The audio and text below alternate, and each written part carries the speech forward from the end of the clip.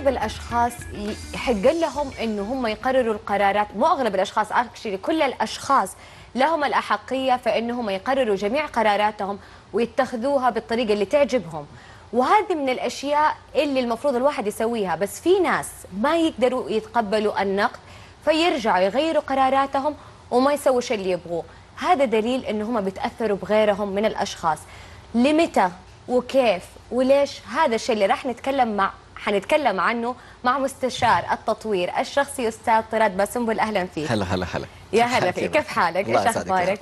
الحمد لله. آه أستاذ طراد قول. الموضوع ده أنت عارف يعني أنا بقول لك متحمسه انه أعرف أكثر عنه إنه هذا الشيء ناس كثير يوقعوا فيه ودائما تحسهم يبغوا يقرروا أو يسووا شيء مهم في حياتهم بس دائما الناس متحكمين فيهم. ليش؟ أول شيء أبغاك ترجع تشوفي الحلقة هذه معادة وتشوفي شكلك أنت. لما قالت لك الدكتورة سميرة أنت جميلة. شوف انت دحين اليوم؟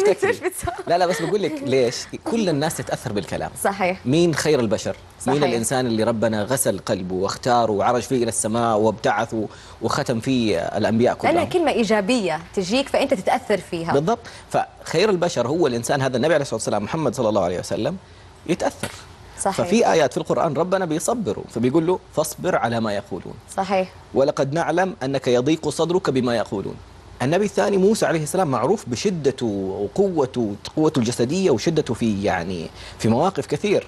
فيقول ويضيق صدري ولا ينطلق لساني. هذه من آثار ضيقة الصدر إحنا قلنا ولقد نعلم أنه يض... أنك يضيق صدرك. الكلام يضيق صدرنا. صحيح. واحيانا ينعكس على كلامنا نبدأ نتأتئ ما نقدر نتكلم كويس لما يكون في ناس حولنا. ونقطة مهمة ثانية يمكن أخذتها في كورس مع استاذه لينا عجاج سوت تجربة انفجعنا من قوة تأثير ال- الكلام يعني. حكينا عن التجربة. إيش سوت في التجربة؟ جابت واحدة من المتدربات خلتها تمد يدها الاثنين وأعطتنا ظهرها. يعني ال- الإنسانة هذه اللي عليها التجربة وجهها على الجدار ما هي شايفتنا. فبتقول لنا أعطوها مشاعر سلبية يعني ظنوا فيها ظنون سيئة تخيلوها في أي حاجة خطأ. فكل واحد عاد ما شاء الله الخيال مبهر يعني. حقيقي. وهي ماده يدينها الاثنين جات كيف بدون ما يتكلموا بدون شيء بس كده في راسهم. ولا حاجة. أوكي. طيب. مسكت يدها نزلتها على طول نزلت. قالت هي خليكي زي ما انت قالت لها ثابتة. رجعت كلمتنا بس تقول لنا كذا مشاعر إيجابية حبوها ادعوا لها سووا لها أي شيء وبصوت واطي. هي ما هي سامعة ولا شيء ما هي داري عن ولا حاجة. نفس البني آدمة بنفس التجربة مسكت بيدينها الاثنين بتحاول تنزل يدها من رضي تنزل يدها. يدها مشدودة وقوية. أنا أول كنت أفكر بس أفكاري أنا اللي أنا تنعكس علي. صدمت لاحظت وشي كيف؟ ما تتخ... أنا أنا أنا يعني هذه أشياء بنعطيها في دورات تدريبية وأنا صارت في تجربة إنه خلاني مدرب امد يدي دكتور آه، يوسف الخضر رائع مدرب كويتي أوجه له تحية. خلاني امد يدي قال لي فكر في فكرة سلبية ما تبغى الناس يعرفوها فكرة عنك أنت موقف سلبي. حاول ينزل بس قال لي الآن تخيل إنه كل الناس هذول عرفوا عنها. نزل يدي على طول نزلت. قال لي طب أتذكر موقف إيجابي وخليك واقف وتذكره. حاول ينزل يدي ما تنزل. إحنا نقول أنا فكرت بس أفكارنا إحنا اللي تأثر على أنفسنا. كده. صحيح. أما إنسان جنبي أنا ممكن أأثر فيه بدي الطريقة فهذا كلا يعني شيء صراحة كان جدا بس ما صدمة. تشوف أحيانا النقد بالعكس ممكن صح على قد ما يجيك نقد وتجيك مشاعر سلبية مو ذا الشيء ممكن يرفعك؟ الطريقة. كيف بتوصلني؟ فاكر المرة اللي فاتت لما قلنا على ال sandwich technique؟ إلا صح. امدح الشخص في نفس الشيء اللي تبغاه يعمله بعدين حط له التعديل اللي تبغى تشوفه. ولو كان كذا حيطلع أجمل وأنت ما شاء الله عليك فنان. صح. لبسك جميل ولو كان مثلا في خاتم حيطلع أجمل مثلا. صحيح. ففي كل تصور إن شاء الله مرة ثانية البس خاتم اديك خاتم سنه فالفكرة مرة ثانية عرفنا وتأكدنا إنه المشاعر لوحدها بتأثر على نفسيتنا وعلى طاقتنا. صحيح. والكلام بيأثر علينا بشكل أكبر. طيب. يعني ليش هذا النقد؟ أوكي يعني بدل ما إحنا نستخدمه بطريقة مهم. يعني أوكي في ناس تحسهم يتأثروا. مم. أنا ما بتأثر. هل في طريقة أنا ما أخلي ذا الشيء يأثر فيا؟ طبعا. أنت قلتيها للدكتوره سميرة برضو. لما جاء قالت على كم حاجة وسووا وأعملوا قلتي أقرأ أقرأوا كيف الواحد توعى. فعلا. هذه النقطة من أهم الأشياء. يعني مثلا أنت قرأتي أو دخلتي دورة في موضوع التقديم وصرت تقدمي قدام الناس. جاتك واحدة عمرها ما طلعت تلفزيون ولا تعرف أي حاجة عن الموضوع. قالت المفروض أنك تطلي في الكاميرا هذه ما تطلي في الكاميرا هذه وطلي أنت ليه بتتكلم إيوه بالضبط. يعني عارفة لما تكون؟ بتقول لك كلمات بعيدة تماما عن أي واقع أنت فيه. أنت شايفة الكاميرات وعارفة أي كاميرا وبتتكلمي مع والمخرج معك على السماعة وبيقول لك في أي كاميرا بيكون. فالموضوع مختلف تماما. صحيح. فهنا أنت لما تكوني عارفة وعندك المعلومة عندك الوعي ما راح تشغلي نفسك صح ما راح يأثر فيكي انتقاد الإنسان الجاهل بشغلك أو بعملك صحيح فهذه أول نقطة دفاعية أنا أبنيها إني أكون أتعلم انه يكون عندي وعي أكثر انه يكون عندي ثقافة أكثر قول اللي تقوله شكرا طيب ليش الناس بتخاف؟ ليش الناس بتخاف من الانتقاد؟ ليش يعني هل هو خوف من إنه تنهز صورتنا؟ هل خوف من برستيج؟ إيش شوفي. الخوف اللي إحنا يعني جوتنا ما إحنا عارفين إيش هو؟ رحم الله امرؤ ذب عن نفسه الغيبة طيب في موقف للنبي عليه الصلاة والسلام خارج مع إحدى زوجاته في الليل وراحوا لقضاء حاجة وهم راجعين شافوهم اثنين من الصحابة دار وجههم ومشيوا فناداهم على رسلكم إنها صفية بنت حيي ترى زوجتي فلانة مو بس زوجتي زوجتي وفلانة. لا أحط نفسي في المكان اللي ممكن الناس تظن عني أو يطلعوا كلام. ليش؟ حادثة الإفك لما طلعت وطلع الكلام وطلعت الإشاعات صارت بلبلة كبيرة في, في الوسط المدينة كلها. وهذا الشيء ياثر أثر على النبي علاقته مع زوجته أثر على عائشة رضي الله عنها وراحت وتصير مشاكل كبيرة جدا. الكلام مهم. إحنا بنقول كلام مالك في كلام الناس. أوكي لا تتأثر فيه بس مهم إنك تبعد عن نفسك الشبهات.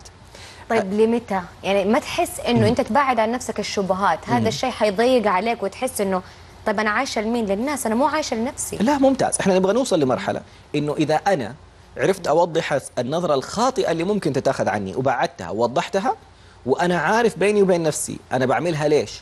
وأعملها لأي سبب؟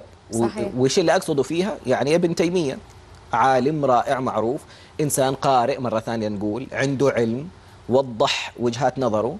كانوا بيهددوه يقول لك الوالي سيسجنك قال ماذا يفعل أعدائي بي؟ سجني خلوة. طب كويس خلوني لحالي كذا أختلي بنفسي وأكتب وأتعلم وأقرأ.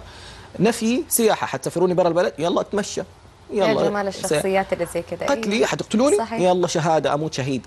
فلما توصل لدي المرحلة ما راح يأثر فيكي كلام الناس. في نفس الوقت اللي ما أجيب لنفسي كلام الناس. صحيح. يعني- اتجنبها يعني أحاول قد ما أقدر ما أسوي حركة معينة وأجي أقول والله هم فكروا كذا عشان أسوي. طب انت تجنبي ذا الشيء. بالضبط. بس في ناس أنا هذا اللي بقول لك إنه في ناس أحس يكونوا أقوياء. okay؟ بس تجيهم ردة يقول لك خلاص أنا ما اهتم ما أهتم بس حتى الأقوياء لو نقطة بتأثر فيهم. شئتي أم أبيتي. ستتأثري بما تسمع أنت أحسن من النبي؟ صحيح. يعني رسول الله بي... ربنا. بيواسيه بيقول له فاصبر على ما يقولون وبيقول له إن ولقد نعلم أنك يضيق صدرك. الواحد يضيق صدره بالكلام. بس كيف ممكن أنا أعالج نفسي مرة صحيح. اللي بنعرفه. أعرف القاعدة. القاعدة اسمها رأي الناس فيك يعنيهم ولا يعنيك. صح. إيش يعني؟ في آه، يمكن حلقة ثا- قبلها طلعنا كان في تصرفات. تعرف الصورة اللي تطلع في الإنترنت جبل الجليد اللي بس عشره طالع فوق الموية و90% منه تحت الموية؟ هذه التصرفات. صحيح. التصرفات الناس هي العشر بس اللي انت شايفته. صح. تحته في ثلاثة أشياء الشخصية البيئة والمخاوف. شخصية الناس البصري والسمعي والحسي. الحسي هذا أكثر واحد ممكن يتحسس من مواضيع الانتقادات. لو واحد عنده كل دول. في شخصيات فيها دي كلها. إيه هم مجتمع كل إنسان فيه له جزء من كل شخصية. بالضبط. بس البصري نوعا ما الاقل تاثرا من السمعيين ومن الحسيين. ليش؟ صحيح. الحسيين مرة حساسين بأي كلمة تنقال. السمعيين أصلا عايشين على الناس. قلنا ورأي الناس صحيح. وكلامهم. البصريين يمكن يكونوا أقل تاثيرا. النقطة اللي بعدها البيئة. يعني مثلا كانت في قصة طلعت في ساعة شباب. إنسانة بتشتغل في عرض الأزياء. في أحد يشوف إنه لما تقول أخويا كان جنبي وبيساعدني ولا أبويا وافق ودعمني هذه ناس ثانية من بيئة مختلفة يشوفوا إنه إيش هذا؟ كيف أبوها ولا أخوها يساعدوه؟ في بيئة مخ... يعني في بيئة الآن اللي هي اختلافات اختلافات ثقافات لا أكثر. ممتاز جدا. صحيح. فمرة ثانية شخص بيتكلم عليك كلام أو بيقول عليك كلام تعرف إنه ممكن يكون بيئته مختلفة تماما. صحيح. إحنا في مناطق مختلفة.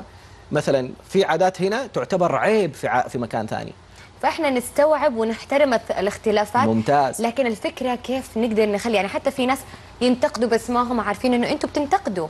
أنتوا ليه بتنتقدوا؟ يعني أنتوا هل ترضوا إنه أحد ينتقدكم؟ هل ترضوا إنه أحد يسوي فيكم كذا؟ هذه الأشياء اللي ما هم قادرين يستوعبوها. مرة ثانية أرجع أقول لك يمكن النقطة الأخيرة اللي هي المخاوف. مخاوف الناس هي اللي بتأكبر محرك للتصرفات. فعرفنا أنه شخصية الناس البصري والسمعي والحسي كل واحد بيتصرف بطريقة مختلفة. فنعرف أوكي هذا بصري صوته عالي ترى ما بيزعق. النقطة الثانية البيئة. البصري صوته عالي. طبيعي هذا صوته عالي وقراراته سريعة هذا. ومتهور شوية. فالبيئه قلنا لها اختلاف في تصرفات اللي بشوفها للناس اللي بيقولوا لي هي. وآخر شيء مخاوف الناس. طب مين بيستهزئ فينا؟ أو مين اللي بينتقدنا نقد حاد لاذع ممكن يكون شخص غيران منك. أو شخص إنسان. طفشان. طف فاضي ما عنده شيء. ما عنده شيء. بالضبط. ممكن يكون شخص جاهل زي اللي قلنا عليها مثال التصوير. ممكن يكون شخص حاقد عليك سو... يعني نجحتي في حاجة كان نفسه ينجح فيها. صحيح. ممكن يكون شخص مستفيد منك ولما يشوف إنك أنت ممكن لو نجحتي حتروحي منه حيقول لا ترى أنت ما تنفعي ترى أنت هنا بالقوة طلع وممكن نيته طيبة بس ما عنده هذا هو السادس أو السابع. صحيح. الشخص اللي يحبك لكن خايف إنه ممكن تتعبي أو تتأثري أو ممكن يعني في أي ضرر يصيبك في هذا الموضوع. ممكن يكون الأب ولا الأم من حبهم يقول لك أرجع مرة ثانية أدور لك وظيفة أرجع أسوي الحاجة الفلانية يكون واحد يبغى يبدأ مشروع. صحيح. هذا شخص بينتقدك بس مو من واقع إنه يبغى يكسرك. صح. ممكن أصحابك اللي حولك لو شافوك نجحت ما يبغوك تبعد عنهم. في ابويا بلا مشاريع بلا خ... ممكن وممكن. فهي دائما الواحد يحط الأشياء الإيجابية أكثر من السلبية في مواضيع زي كذا صح؟ اللي قبلها إنه أنت توعى ووعي الناس اللي حولك صحيح. لأنك في النهاية حتتأخر لما تقول لهم كيف ينتقدوك بطريقة صحيحة أو بطريقة جميلة فأنت كذا ارتحت عشان لما يجيبوا لك النقد حيجيبوه بطريقة جميلة إنه واو كانت اللقاء كان اليوم جميل جدا ولو كمان عملت كده حيطلع أجمل. صح. حتنبسطي بعد كده حتيجي تسأليهم أنت اللي. حتدوري رأيهم. ها إيش رأيكم؟ كيف كان اللقاء اليوم؟ إيش سويت؟ إيش الحاجة المميزة؟ إيش اللي أزيدها؟ إيش اللي أقللها؟ صح. آخر حاجة يمكن عالم الماني اسمه بارهوف. يقولوا يرجع حضرمي. المهم فبيقول قاعدة مهمة. معظم الناس يمروا بثلاث مراحل استهزاء مقاومة اتباع. النبي عليه الصلاة والسلام مر فيها. قالوا ساحر وشاعر ومجنون. بعدين بدر واحد والخندق مقاومة. بعدين دخل مكة بدون قطره دم الآن يعني خمس العالم أو سدس العالم مسلم. صحيح. فالفكرة إنك الاستهزاءات أحيانا أو الانتقادات هذه ممكن تكون أول خطوات النجاح. فاستمتع فيها. الاستهزاءات؟ نعم إنك تستهزئ. بالناس؟ لا اللي يستهزئوا فيك. ها أوكي. يعني إذا أحد استهزأ فيك عشان بس نحدد لا الموضوع لا مو إنك تستهزئ. في الناس لا. بالضبط. إنه الناجحين مروا بدي المراحل إنه الناس استهزأوا فيهم في البداية. قاوموهم ووقفوا ضدهم وسووا لهم مشاكل. صحيح. بعدين بدأوا يجوهم ويتعاونوا معاهم. حلو. طيب أستاذ طراد عشان بس بحاول أسألك الأسئلة كلها قبل ما يخلص الوقت. آه مين يتأثر أكثر في النقد في رأيك الرجل أم المرأة؟ يعني يمكن قبل شوية سمعتوا نسب نسب الاكتئاب وانت تتكلم مع الدكتورة سميرة. السيدات هم أكثر فلانهم الله يقوينا. شخصية يمكن الشخصية السمعية أكثر عند السيدات من صحيح. من الرجال. في بصريات في سيدات بصريات وما شاء الله صوتهم عالي وجنانهم و- واتخاذهم لقراراتهم. بس غالب شخصية النساء السمعيات يحبوا يسمعوا الكلام ويحبوا يعني يقولوا يبغوا اهتمام. فأي كلمة ممكن تأثر فيها بشكل أكبر يعني رفقا بالقوارير صحيح. رفقا بالقوارير قالت في موقف آخر ما له يعني كان في قافلة وكانوا بيمشوا صحيح. بس الفكرة أنه أكثر تأثير. البنات عاطفيين السيدات عاطفيين دائما يأثر وعلى. فكرة على قول اغنيه نبيل يا قلبي والله البنات آه، تسحرهم بكلمتين. إي والله صحيح. فيعني قد ما إنه ممكن تشوفها زعلانة بكلمة ممكن ترضيها وتسعدها. أتمنى الرجال بيسمعونا في هذه اللحظة ويتعلموا الموضوع ده. وممكن بكلمة حتكره حياتك بصراحة. هذه صح. طيب أستاذ طراد إيش ممكن تقول كلمة للي بيتابعونا حاليا؟ تساعدهم إنه كيف يتخطوا ذا الموضوع؟ مرة ثانية بس اعرف إنك تبدأ صح. يعني أشياء حتجيك انتقادات في أي شيء تعمله. الجاهل قلنا والحاقد وكل التصرفات اللي قلناهم أو الشخصيات اللي قلنا عليهم. إذا عارف نفسك بدأت على الطريقة الصحيحه وكيف الطريقة الصحيحة؟ أشوف مين اللي نجح قبلي. أروح أجلس معاه أتعلم منه. إذا وصلت لدي النقطة فأنت سيبك من كل كلام الناس. آه، يمكن أختم بحكمة أو بمثل. المخاوف هي الأشياء الكبيرة التي تراها إذا زحت نظرك عن هدفك. أنت عينك على المكان اللي تبغاه وعارفه خلي ذا يتكلم وخلي ذا يقول وخلي ذا. لو أنا ماشي ورحت ناديتيني وأنا ماشي حتعطليني. الوقت اللي حجلس أرد عليك فيه أكون وصلت. صحيح. فلا تضيع وقتك. صحيح. تستمتع أستاذ طراد باسنبل صراحة معلومات جدا رائعة وموضوع جدا شيق. يعطيك الله يكرمك. نورتنا سعيد فيك. مشاهدينا من هنا نطلع لفاصل قصير ونرجع لكم. في سيدتي بعد الفاصل. المسلسلات التركية وبعدها الكورية. إلى أين ستكون الوجهة القادمة؟ سيدتي يناقش تأثيرها على متابعيها وقضايا الهروب أبرزها.